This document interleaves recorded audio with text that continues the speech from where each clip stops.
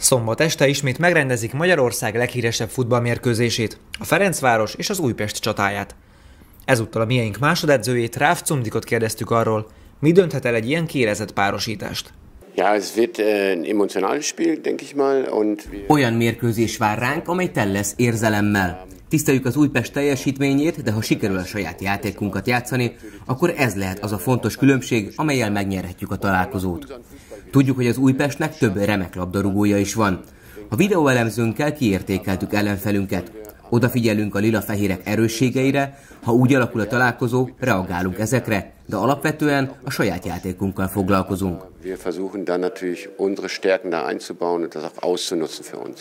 A derbi egy város két patinás együttesének összecsapását jelenti, így mindig minden futball szerető ember tudja, milyen különleges találkozóról beszélünk.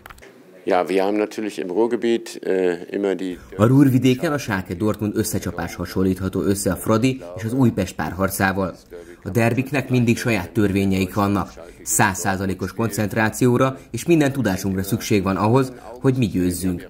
Szeretném, ha eseménydús mérkőzést játszanánk, hogy a szurkolók is élvezhessék a játékot. A lényeg pedig, hogy a végén egy góllal mi legyünk a jobbak.